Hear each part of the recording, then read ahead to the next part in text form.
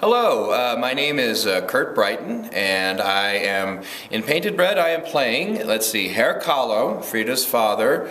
I am playing her doctor. I'm playing a reporter. I'm playing three different art critics one American, one French, and one Russian guy. And someone, oh, and I'm playing a uh, Mexican uh, priest as well.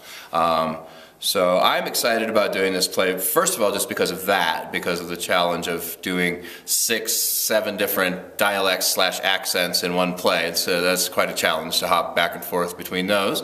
And also just like she's such an amazing woman who learned so much about Frida Kahlo, and it's actually this play itself, uh, what Melissa's written, and watching Karen uh, rehearse and perform, it's it is inspiring to the artist and, and all of us, I think it should be anyway. Um, it's a really fun, uplifting, heartfelt play that's also really poignant. Uh, gets you in the feels as well.